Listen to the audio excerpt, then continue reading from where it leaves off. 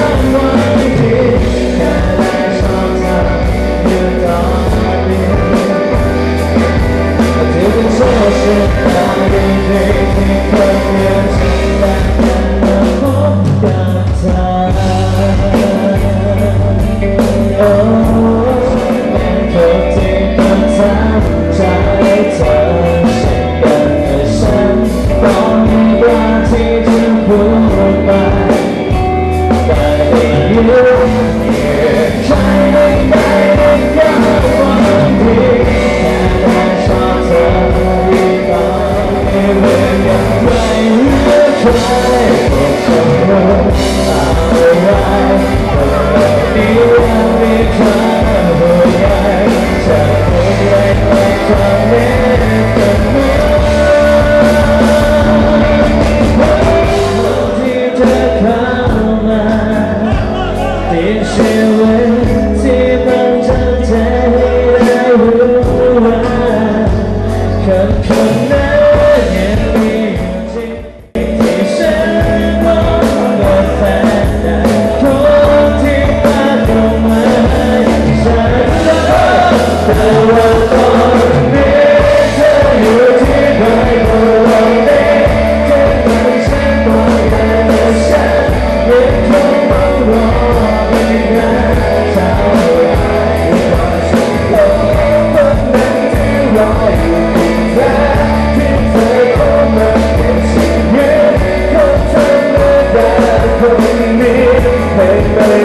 together.